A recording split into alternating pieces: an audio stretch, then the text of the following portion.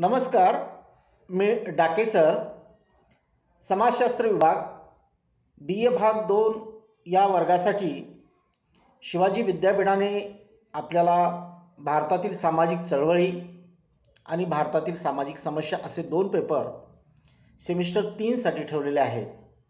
त्या अनुषंगाने आज आपण भारतातील सामाजिक चळवळी या पेपरच्या अनुषंगाने विचार करणार आहोत. सामाजिक चळवळी मग त्या चळवळीचा अर्थ आणि वैशिष्ट्य पुढे सामाजिक चळवळीचे कोणते घटक आहेत की ज्या घटकांच्याद्वारे आपण सामाजिक चळवळी करतो? आणि सामाजिक चळवळीचं महत्त्व या तीन मुद्द्यांच्या अनुषंगाने आपण सामाजिक चळवळीच्या या घटकाकडे बघणार आहोत. सर्वप्रथम पाहत असताना आपल्याला सामाजिक चळवळीचा अर्थ नेमकी सामाजिक चळवळ म्हणायचं कशाला? हे बघणं अत्यंत गरजेचं आहे. याची प्रस्तावना मांडत असताना आपल्याला असं म्हणावं लागेल की मानवी समाज हा कधीही स्थिर असत नाही. त्यामध्ये सातत्याने परिवर्तन किंवा बदल होत असतात. आणि या परिवर्तन प्रक्रियेमध्ये सामाजिक चळवळींचा निश्चितच संबंध असतो. यावरून असं लक्षात येतं की सामाजिक चळवळी या समाज व्यवस्थेतील एखाद्या क्षेत्रात किंवा संपूर्ण समाज व्यवस्थेमध्ये परिवर्तन घडवून आणत असतात. म्हणजेच सामाजिक चळवळी या सामाजिक परिवर्तनाला चालना देत असतात. आणि म्हणून सामाजिक चळवळी आणि सामाजिक परिवर्तन यामध्ये परस्पर पूरकता असते. एकोणीसाव्या शतकाच्या सुरुवातीला सोशल मुव्हमेंट हा एक शब्द फार मोठ्या प्रमाणात वापरण्यात आला. तो सामाजिक परिवर्तनाचा आणि एक अभिसरणाचा काळ होता. शोषित वर्गाच्या उद्धारासाठी काम करणाऱ्या राजकीय नेत्यांनी नवीन समाजरचना अस्तित्वात आणण्यासाठी आणि त्या अनुषंगाने ध्येय धोरणं आणि आर्थिक संबंधात परिवर्तन घडवून आणण्यासाठी जे कार्य केले त्या संदर्भात हा शब्द वापरण्यात आला होता. भारतात प्रामुख्याने ब्रिटिश राजवटीमध्ये सामाजिक चळवळीला अधिक जोर आला. उदाहरणार्थ अस्पृश्यता निर्मूलन चळवळ शेतकरी चळवळ कामगार चळवळ स्वातंत्र्याची चळवळ सामाजिक सुधारणेची चळवळ इत्यादी अनेक सामाजिक चळवळी उदयास आल्या. भारतामध्ये इसवी सन एकोणीसशे पन्नास साली भाषावर प्रांतरचना निर्माण करण्यात आली. आणि ही भाषावर प्रांतरचना काही जणांना आंदोलन वाटत होती. तर काही जणांना ती एक सामाजिक चळवळ वाटत होती. नंतर मात्र जे विचारवंत पूर्वी या कृतीला आंदोलन म्हणत होते त्याला सामाजिक चळवळ म्हणू लागले. अर्थात निदर्शनं आंदोलने निषेध संप या सगळ्या विचार सामाजिक चळवळींचा म्हणून केला जात असतो.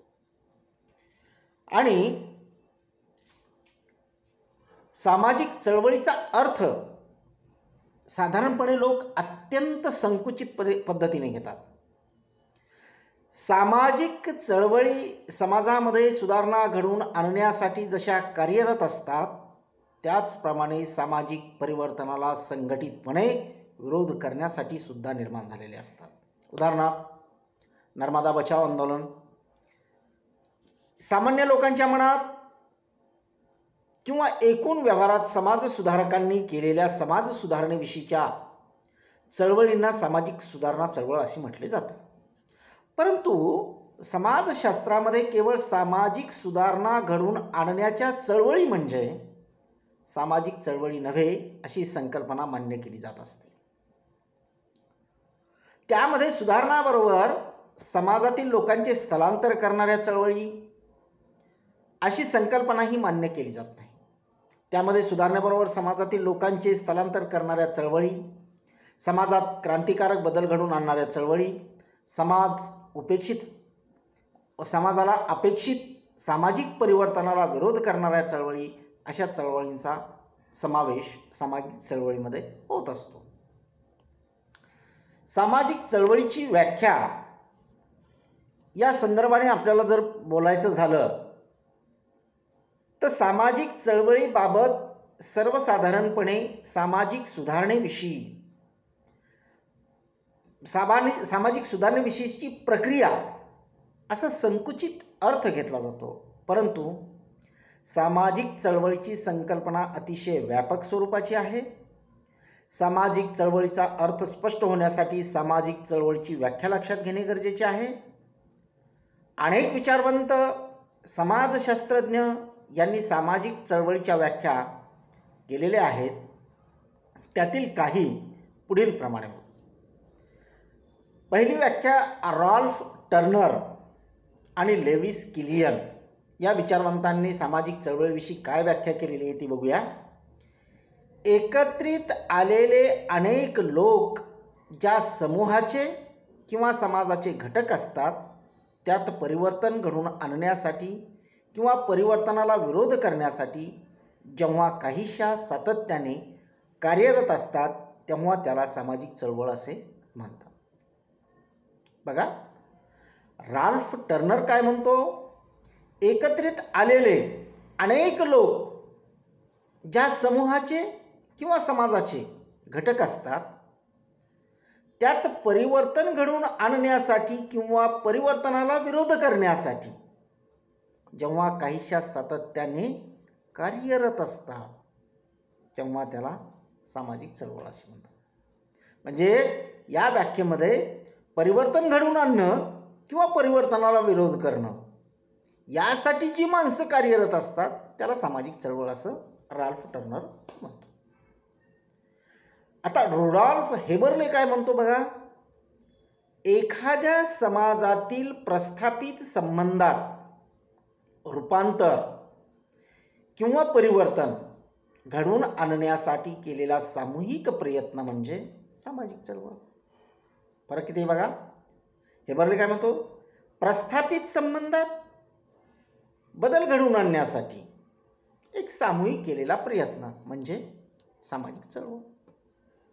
आणि हबर्ट ब्लूमर हबर्ट ब्लूमर काय म्हणतो? सामाजिक जीवनाची नवी व्यवस्था प्रस्थापित करण्यासाठी करण्यात येणारा सामूहिक प्रयत्न म्हणजे सामाजिक चळवळ. सामाजिक जीवनाची नवी व्यवस्था सामाजिक जीवनाची नवी व्यवस्था प्रस्थापित करण्यासाठी करण्यात येणारा सामूहिक प्रयत्न म्हणजे सामाजिक चळवळ. जॉन विल्सन हा विचारवंत काय म्हणतो बघा?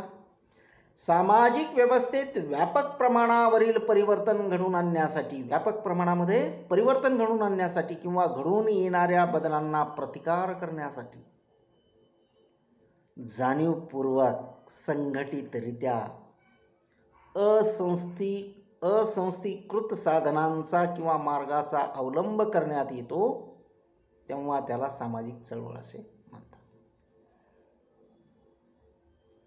ड्रेसरल आणि विलिस हा विचारवंत काय म्हणतो आणि या व्याख्येनंतर आपण त्याची काही या व्याख्याच्यानं काय निघतं तो भाग बघणार. ड्रेसलर आणि विलिस म्हणतो अनेक लोक हेतुपूर्वक किंवा सामूहिकरित्या परिवर्तन घडवून आणण्याचा जेव्हा प्रयत्न करतात तेव्हा त्याला सामाजिक चळवळ असे म्हणतात. हेतुपूर्वक आणि सामूहिकरित्या यांच्याद्वारे जे परिवर्तन घडून येतं त्याला सामाजिक चळवळ असं ड्रेसलर आणि प्लिस म्हणतात. थोडक्यामध्ये सामाजिक चळवळ म्हणजे सामाजिक परिवर्तनाला चालना देण्याचा किंवा विरोध करण्याचा निरंतर सामूहिक प्रयत्न होय.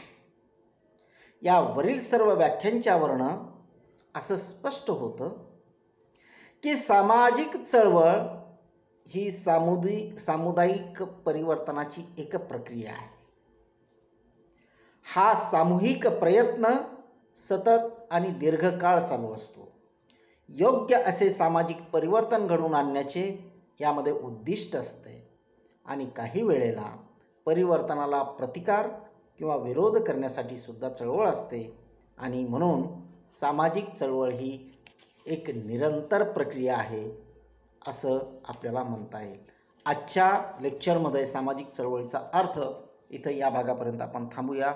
पुढच्या भागामध्ये आपण सामाजिक चळवळीची वैशिष्ट्य हा भाग बघूया. धन्यवाद.